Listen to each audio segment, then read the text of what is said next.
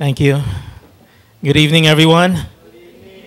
And nothing is impossible with God. Amen po. Walang posible sa Diyos.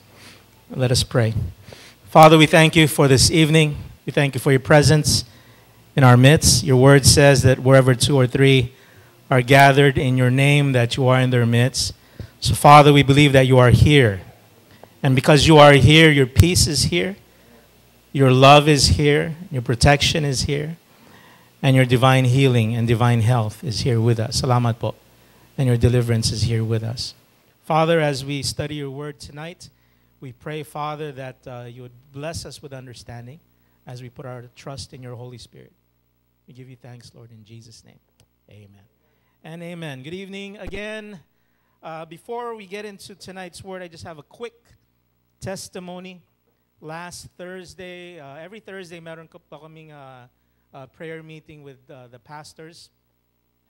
So last Thursday, we were praying, and uh, some of the pastors were going to have an event during the week. Tapos, uh, there was a, uh, at that point, it was only a low pressure. Yung sinina, diba? At that point, it was only a low pressure uh, last Thursday. But so we were praying, and eventually the low pressure became a storm, and then it became an, an extreme tro- tropical storm. After that, it became a typhoon, and for a, a few moments, there was a super typhoon, Sinina. So the testimony is we were praying as well as Sunday evening during our service, Sunday morning during our service. And uh, this was the weather forecast of Pagasa issued uh, December 26th. That was Tuesday. I know that was Monday, uh, 7 o'clock in the evening. And it says uh, at 4 p.m. today, the eye of the typhoon Nina was located based on all available data, including Tagaytay Doppler radar at 75 kilometers, the current location, and with maximum, maximum sustained winds of up to 120 kilometers near the center. Gustiness is of up uh, to 180 kilometers. That is a typhoon. It is forecast to move west northwest, and the diameter at this point was about 300. So yung diameter niya, nandun sa loob ng diameter of 300 kilometers, that's where the concentration of the wind and the rain is. Believe it or not, this is the location last Monday, southwest of Subic, Olongapo.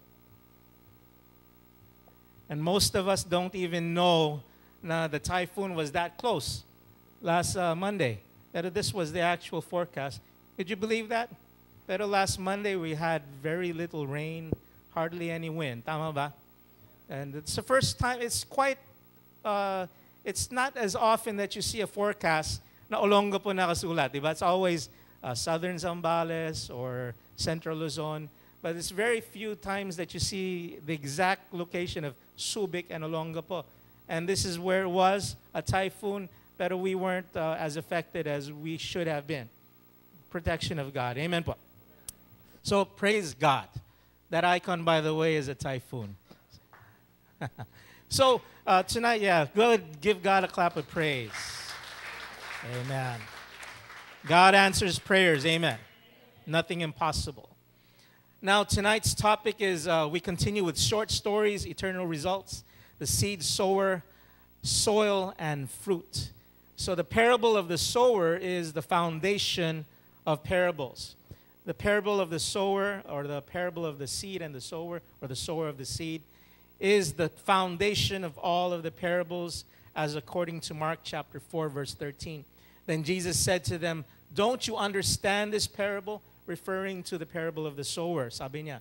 How then will you understand any parable?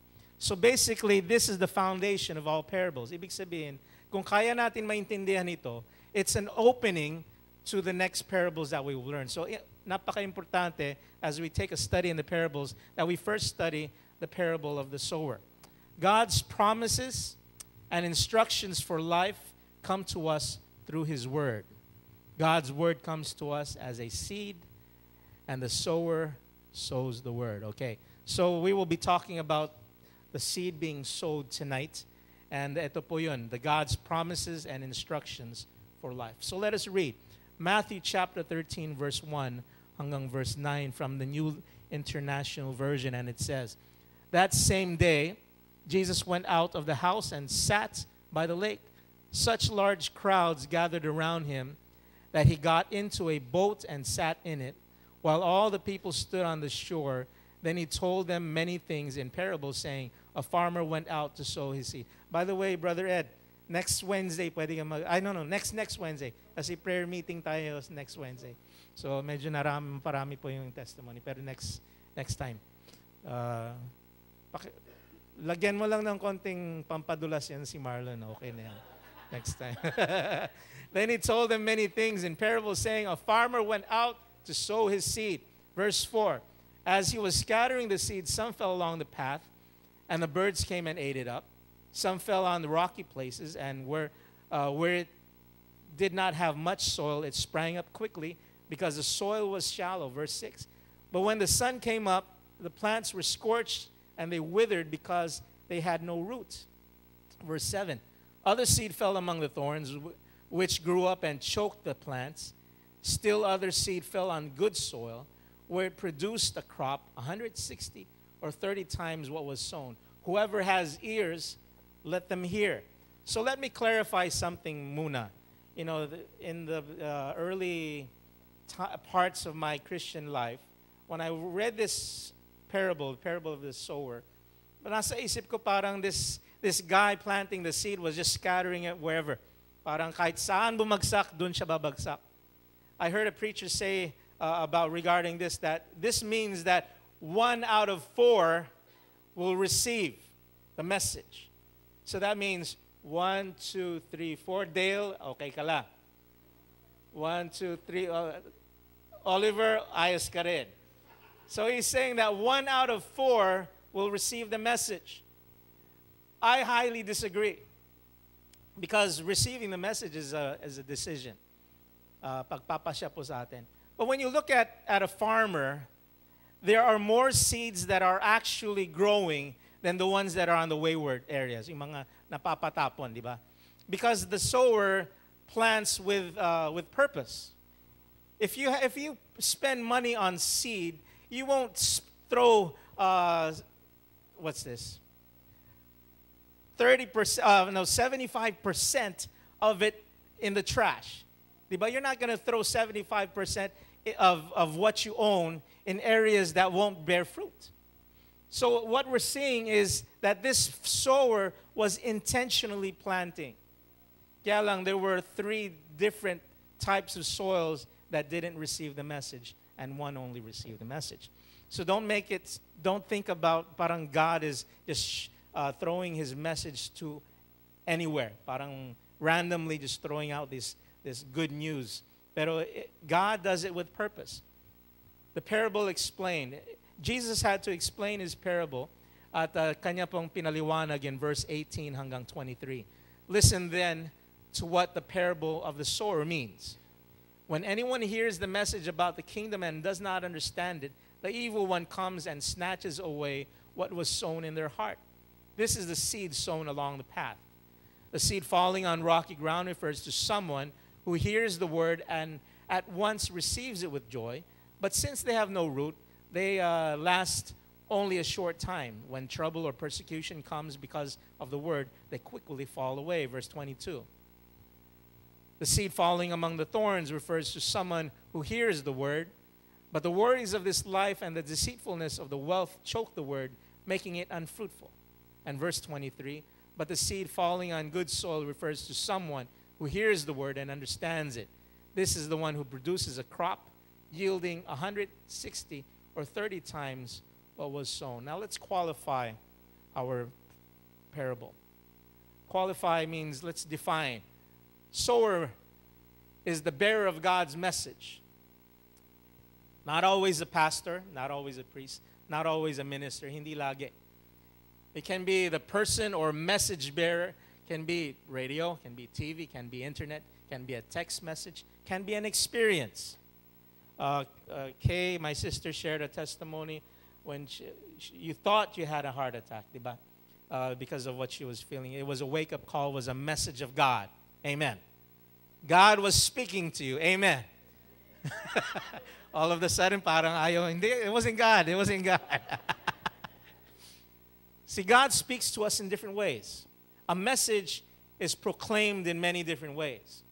Uh, I remember uh, I shared this with you when uh, in 2012 when we experienced the flood. Diba nagkaroon tayo ng baha dito sa Olongapo, 2012. And uh, I, uh, you know, uh, among the three pastors, I got it the worst. Actually, I'm the one, the only one that got it that time. So uh, I uh, spent a few nights with, uh, with Albert and Kay. And every, every so often, I drive home just to, to you know, clean and fix. So it took us maybe three or four days to, just to make it I know, livable, you know. Anyways, on my way home, it started raining hard. You know, right after the flood, maybe a day or so after the flood, umuulan na ng malakas. And, you know, I'm, I'm driving, and I'm, I'm talking to myself, as I always do. And uh, they say that uh, uh, intelligent people do that, not crazy people. Intelligent people do that. It is, it's another word for crazy. So I'm talking to myself, kinakausap ko sarili ko, and, you know, I'm starting to complain. And as I'm complaining, I'm starting to talk to God. You know, don't we have enough rain? Sabi ko, bumaha na nga. You know, lampas tao na nga sa Santa Rita area. You know, mga talagang grabe. And then I'm saying, I'm talking to God, don't we have enough rain? And it starts raining. And I'm driving behind a pulang jeep, a red jeep. And on his back, the yung mga sign na nasa mga pulang jeep all of our uh, public utility transportation. And what it does it say? May reklamo ka. You know, it says, may reklamo ka. You, wanna know what, you know what that means? Do you have any complaints? You know, in the U.S. or uh, they, they just put, how's my driving? Here in the Philippines is, do you make reklamo ka? Di ba? Parang nangahamon eh. You know, ano, ano gusto mo talaga? So that's, basically that's what happened. Uh, it said, do you have any complaints? May reklamo ka. And it was like God was, hinahamon ako ng Diyos. Like God was uh, interrupting me and saying, may reklamo ka ba talaga? And then, uh, parang, akong, parang nagsimulang umulan sa loob ng kotse. You know, I, I, it was like it was raining inside the car because I felt God speak to me directly through the jeepney. So God can speak to us through so many different ways. Amen, Paul. The message comes from God.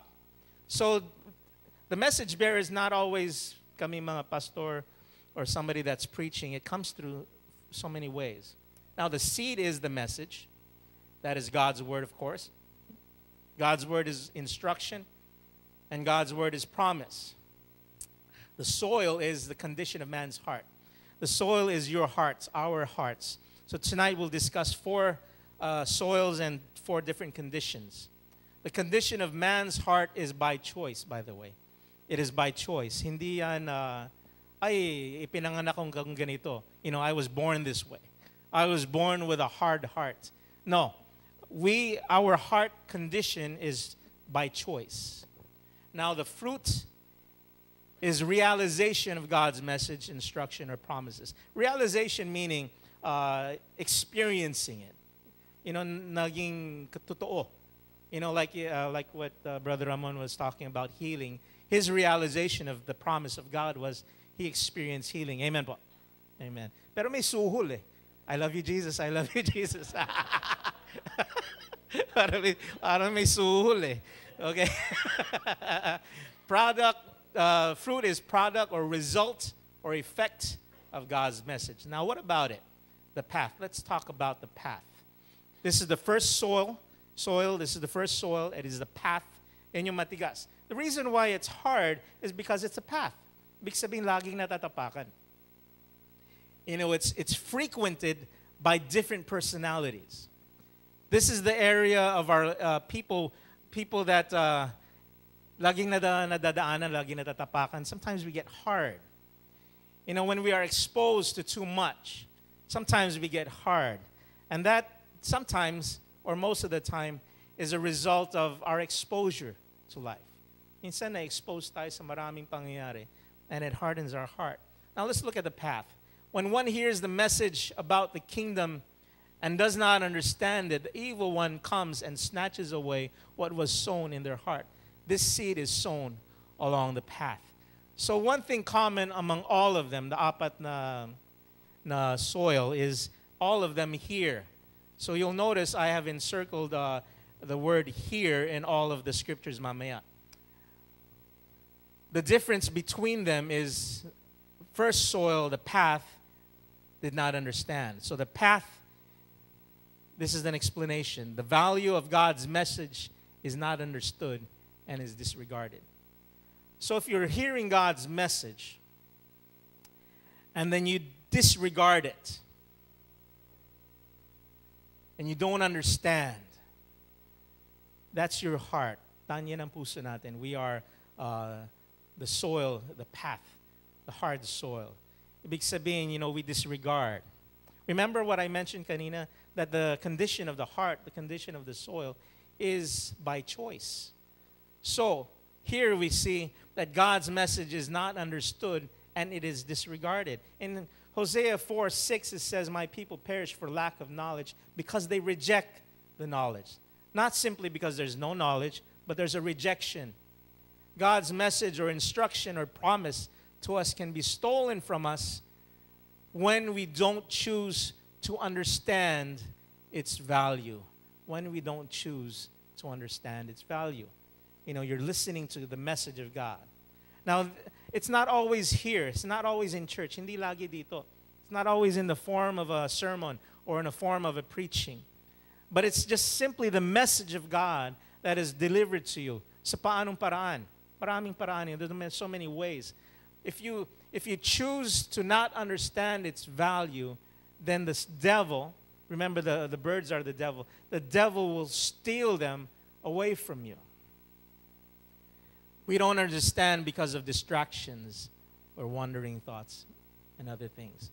Now, this, let's put this in the context of church or a service or when you're listening to a message of God uh, being proclaimed by maybe a preacher. Tapos, you know, you're looking at your watch, it's ano kayang ulamin namin mamaya? Di ba? You know, and uh, often, you know, minsan kasalanan namin eh. Often we use examples like myself in particular. I like to use steak as an example. No matter what I share, I have steak as an example. So you're always thinking, ano kayang kakainin namin? Wag naman sana tinapa na naman. Puro tinapa na lang kami. You know, you start thinking. And while you're doing those thinking, you know, the devil is stealing the word from you. Believe it or not. It's funny, but it's true. I was listening to this preacher regarding this, I know this parable, sabi niya, that the devil attends each and every service. Hallelujah. Mas faithful. Tama. You know, sometimes you guys are absent, but the devil is never absent. But amen. Sino nag-amen? Sino nag-amen sa inyo? Sino nag-imbita? Yun ang tanong eh. Sino ang nag-imbita? Minsan tayo rin na nag-imbita eh. Every time this mind wanders, not listening to the message of God, you're inviting the devil to steal the word. So that's the path. Now let's look at the rocky soil. See, notice I encircled here. Kasi yan ang common sa kanilang lahat. Everyone has the ability to receive the message. Matthew chapter 13, verse 20 hanggang verse 21. And it says, The seed falling on rocky ground refers to someone who hears the word and at once receives it with joy. But since they have no roots, they uh, last only a short time. When trouble or persecution comes because of the word, they quickly fall away. Now let's explain this. The message, the promise or instruction of God is received in an unbalanced view. The rocky soil uh, the, your heart condition is you receive the message of God in an unbalanced view. Ibig is that they only see the blessing of God's message but do not see the commitment commitment needed. Nakikita natin yung pagpapala. You know, we, we see the good of God's message. You know, all, all of God's messages are good. However, there's may kalakip na ano yan eh, na ang galing ano, Tagalog, kalakip. Kalakip. Kita, mali pa yung pronunciation. May kasama po. Para hindi naman, may kasama pong ano yan. Dedication. You have to dedicate your life to the message. So, si Brother Ramon, yung kaniyang testimony kanina, nagpinagaling siya ni Lord. Pero kung hindi mo ititigil yung kakakain mo ng champurado, parang hinusgahan tuloy eh. no, you know, along with the message of God in our lives, make commitment. There is always a commitment. And sometimes all we see is the blessing. That's quite normal, especially sa mga panahon yan. That's what the Bible says. In the last days, the people will be lovers of themselves. Mahal lang ang sarili. And that's the messages that we hear quite often. Yung para, paano ka yayaman ka, paano ka popogi. Di ba? Puro, you know, making yourself better. You know, we do become better in Christ, but that's not the idea of Christianity. The idea of Christianity is serving God and glorifying Him. Amen, po. So that's what happens when you see uh, only the blessing. The rocky soil sees the blessings of God, uh, blessing of God's message for the present, but does not understand the commitment and eternal value. minsan, you know, nagugustuhan natin what we feel now. But there's, there's eternal value with God's message. Yun, mas mahalaga yung eternal value. You know, as opposed to, you know, the, get rich quick gospel. Yung gusto natin yumaman sa buhay na ito. You know, yes, God will bless us, but it is not God's intention, you know, just to bless us here, now. God has more weight on eternal. Mas matimbang sa Kanya ang eternal, di ba? So even if we suffer now, at the end naman, panalo naman tayong lahat. You know, if you read the book, at the end of the book, we are victorious. Amen. Amen. So, now let's look at thorny soil. Matthew 13, verse 22. The seed falling among the thorns refers to someone who hears. Again, here's the word but the worries of this life and the deceitfulness of wealth choke the word, making it unfruitful. Now let's define this. Number one, it, uh, the thorny soil receives the message, but puts equal value on the concerns and wealth of this world with God. When you put equal value, it doesn't have to be higher. Minsan kasi sinasabi natin na uh, when you put ab- things above God. That's not even true. An idol is not something above God. Even if you put it equal to God, then it's already wrong. Tama po ba? Amen. There's no one equal to our God. So if you put anything at equal level with God, then it creates a problem. Nakakaroon po tayo ng problema. And that's the message. You receive the message, but you put equal value on the concerns and wealth of this world with God. Number two, God is not their priority in life. The thorny soil, those are the people na hindi priority si Lord. That's why hindi namumunga yung uh, salita ng Diyos sa kanilang buhay. Now let's look at the good soil as we come to a close. The good soil is you understand and understands and practices God's message. Therefore, it produces a yield of 30, 60, and 100 fold. There are three factors to yielding fruit. Number one, accept God's message. When God has a message for you, be it in the church setting or merong personal message sa inyo, you have to accept it. Tanggapin lang. You know, sometimes we don't even understand it. Minsan hindi ka agad natin naiintindihan. Uh, actually, most of the time, the message of God, you just don't understand. Like when Jonah, God, galing, nakita kita, kaya bigla naisip si Jonah. Eh like when Jonah received a message from God, did not understand. Kaya tinakbuhan niya yung mensahe ng Diyos. It took a while for him to understand. We just have to receive, accept God's message. Accept means to take or receive something offered. Receive it with approval or favor. Number two, to agree or consent to. When God has a message, you'll know it's God. You'll know it's God even if you don't agree with Him, you'll know it's God. Most of the time, let me tell you, sabihin most of the time, we won't agree with Him. Because this flesh has a tendency to rebel against God. Most of the time. Asubukan nyo na ba yun? Uh, let me talk to the parents. I hope you, you don't experience this, pero you have children and your relationship is not so good Sasabihin mo pa kumukontra na yung anak. You know, without even understanding what you're gonna say. It's just because may kontra bulate na kagad eh. You know, there's that feeling of gusto niyang kontrahin eh. You know, you're not even you're not even having a conversation yet. That's how we are with God a lot of times. Magsasalita pa lamang ang Diyos, you're already rejecting it because the flesh tends to reject the message of God. That's why when God has a message for you, you just know it's God. You just have to receive it first. Receive it first. Tanggapin mo muna. And allow it to sink in. Because let me tell you, speaking from experience, ako po, from speaking when God speaks to me, a lot of times you you know, kasi you know it's uh, it's convicting. It's not easy to accept when God is has a message for you. It's convicting. Uh, like the, uh, the very recent when uh, in Florence, for those that don't know your wife, because Florence, when she had a heart attack last May, you know, God was speaking to me, and it was difficult. Yung, ano eh, it's difficult. And when you, when you, you know, you're rejecting what God is speaking to you. Kasi may sinasabi siya, and it takes, minsan, God has to put you through a situation to get, you know, talagang gisingin tayo. And uh, most of the time, if not always, the tendency of this flesh is to reject what God is saying. That's why first you have to accept, to agree, or to consent, to respond or answer affirmative, to regard as true or sound.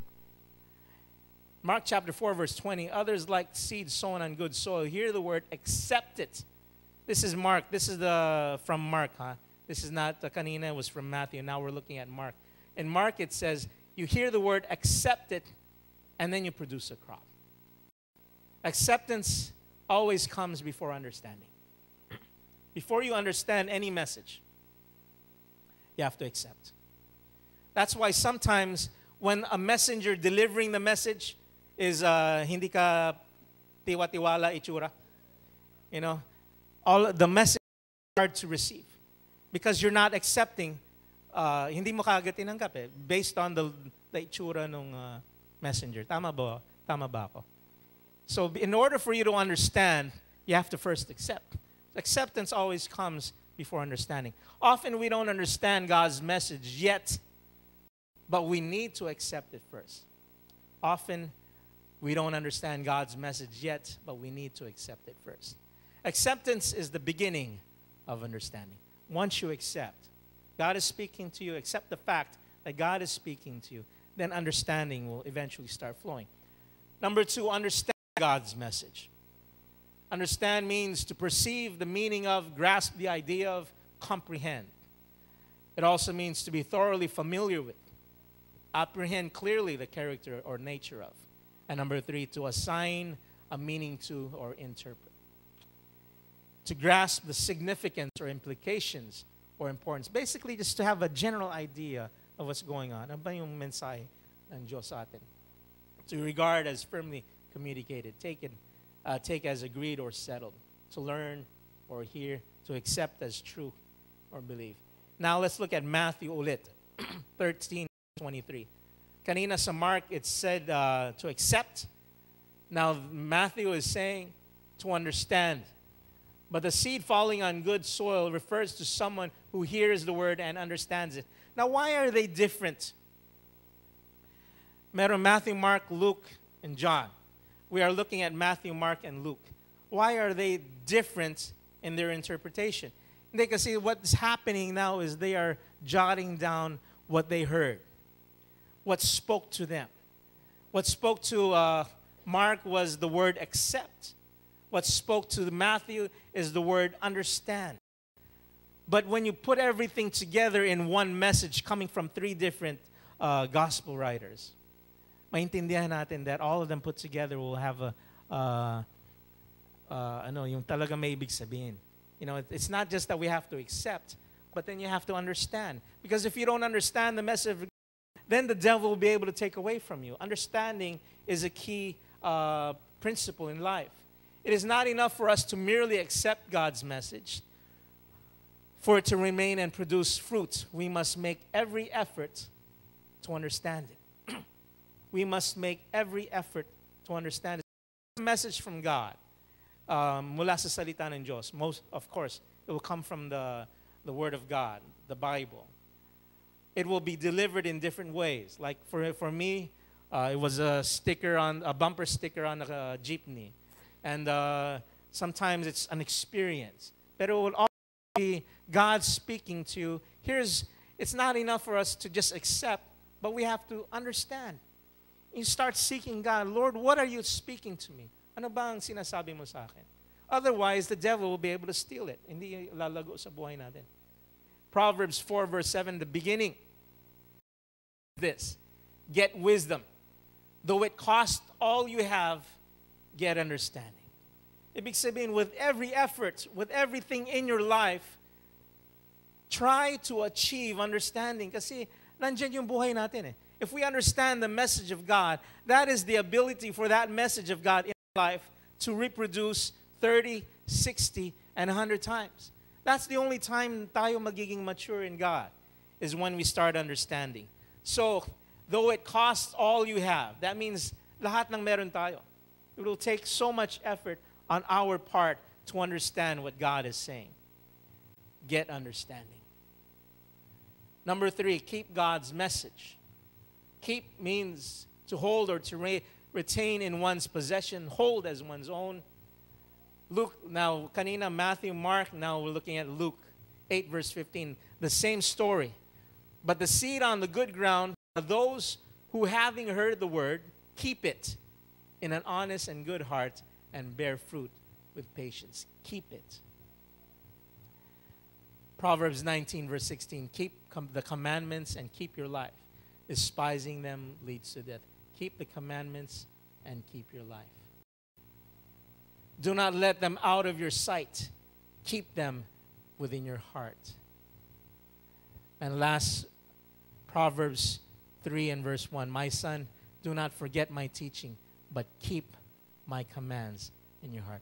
Yielding fruit of 30, 60, and 100 of God's promises and instruction or way of living in our life is subject to our willingness to accept, understand, and keep His message. Now, the Word of God is, is promise and instruction. Ibig sabihin promise and instruction, the promise would be, let's say, healing, let's say, the provision of God, let's say, mga promises regarding the family, that one saved, all will be saved. You know, there are many, many promises.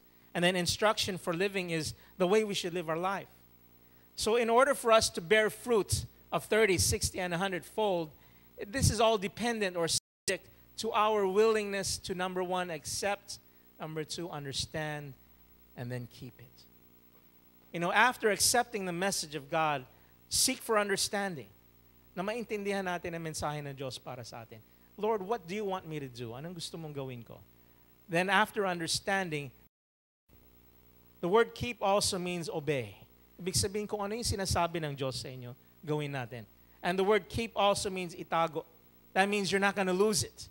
It'll be part of your life always. Amen po. That's how we get 30, 60, and a hundredfold of what God gives. Amen. I hope you learned something tonight, both from the testimonies and the words spoken tonight. You say, if not, then you invited Satan to steal the word. Well, let's not invite him. Di po siya. But uh, like I've said, he attends every service because he steal the word. Let's not allow him to. Amen. Let's seek understanding. Please stand with me as we pray. Father, we thank you for this evening. We thank you for the testimonies. We thank you for your word. We thank you for the time of worship. We thank you for the, the offerings uh, that we're giving on. And as we leave this place, we pray for your protection upon all of us as we walk, as we drive. Lord, we thank you for your protection, kay Brother Johan Panginoon, how you showed that you are with him. Uh, Father, as we drive, as we walk home, as we commute, let your protection be upon us. And again, we lift up Atefeli as, the, as she travels, as they travel uh, from uh, Quezon. We pray for your protection upon them as well. We give you glory tonight. Thank you for everyone that is here, Panginoon. In Jesus' name we pray. Amen and amen. Thank you for coming, everyone. God bless you. And don't forget, yung service not in this coming Sunday, 8 in the morning, or you can come 6 in the evening.